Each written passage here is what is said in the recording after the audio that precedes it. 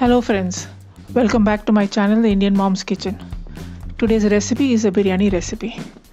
We are not making a non-vegetarian biryani today but a vegetarian one which is super yummy. This is a variety biryani. It's the small brinjal biryani. This is very popular in Andhra and uh, it has a different and uh, exquisite masala that goes along with this. So let's start making today's recipe. For this first I'm going to cook the rice. For that I'm boiling a huge pot of water. I've added salt to it, 2 tejpata or bay leaves, a teaspoon of cumin or jeera, 3 cloves of lavang,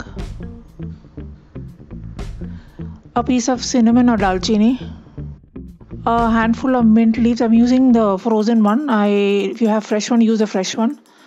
A teaspoon of ghee let this water come to a good boil and then add uh, 2 cups of uh, basmati rice which I've washed and soaked for half an hour. Now to make sure that your rice is cooked perfectly 70% as normally all recipes says once this mixture comes back to a boil time yourself for exactly 5 minutes. After 5 minutes you can drain the water from the rice and your rice will be perfectly cooked after 5 minutes when you check a grain of rice it should not squeeze and squish. It should break like this.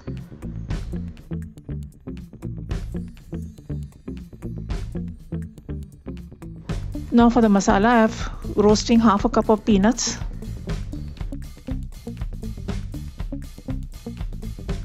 Two cardamom elaichi one inch uh, dalchini or cinnamon 3 cloves of lavang. Dry roast the peanuts gain a good color.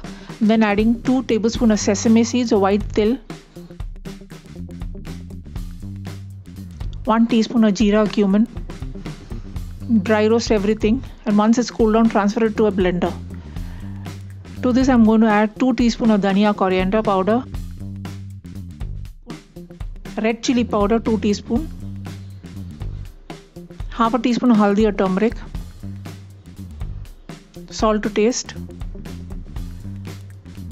a small piece of tamarind or imli, 1 teaspoon of ginger garlic paste. Blend everything till it forms a coarse powder. Your masala is ready. Now for the brinjals. I've taken half a kg of small brinjals. Keep the stem to keep it together and then I'm going to make a cross incision at the bottom side of the brinjal. This is twofold. This is one for stuffing as well as you can check if there are any worms in it. Now we can stuff the brinjal properly, fully with the masala that we just made. Stuff all the brinjals and keep aside. Here I'm frying one onion till it's nice and brown and crisp. Once it's nice and brown, I'm going to remove from the oil, keeping it aside.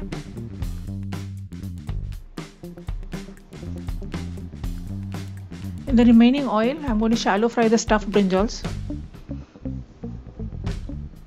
Cook this on very low flame. Cover and cook so that the brinjal is cooked properly.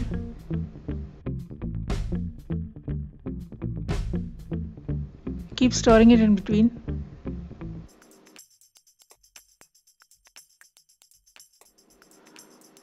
Once you see that the brinjals are cooked nicely, I'm going to add the remaining masala which I'd used for stuffing. Mix well and let the brinjals continue to cook. In the meantime, I'm going to make a gravy for these brinjals. I've taken half a cup of dahi or curd to which I've added salt to taste, a teaspoon of red chili powder, 1 tablespoon of biryani masala. The video for this is already uploaded on the channel give it a good mix. And then I'm going to add a handful of coriander leaves and a handful of the fried onions that we had done earlier and kept. Mix everything well. Add this curd mixture into the uh, cooking brinjals.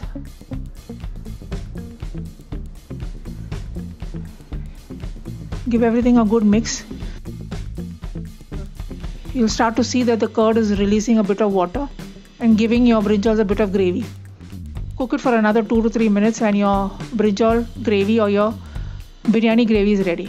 Now in the pot that you're going to assemble the biryani I've put a teaspoon of ghee spread it out evenly and then I'm going to layer it with rice. Spread the rice out evenly. I'm adding orange food color. This is optional. You can skip this entirely a sprinkling of coriander leaves fried onions. Now spread the brinjal gravy evenly all over the rice. I'm adding more coriander leaves and spreading the remaining rice over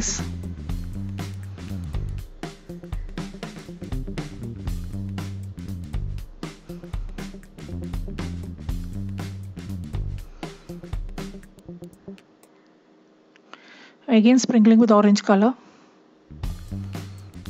1 teaspoon of ghee. The remaining fried onions.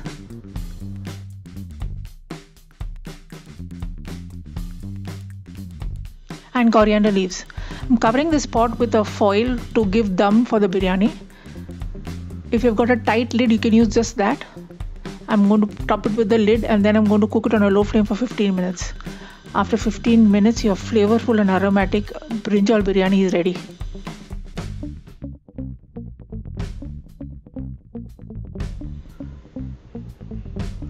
Serve it piping hot. I hope you have enjoyed this video. I hope you enjoyed this video. If you have, then please give it a big thumbs up. Also comment on and share this video among your friends and family. If you haven't subscribed to my channel yet, then please do so now and do not forget to press the bell icon. Thanks for watching and have a great day.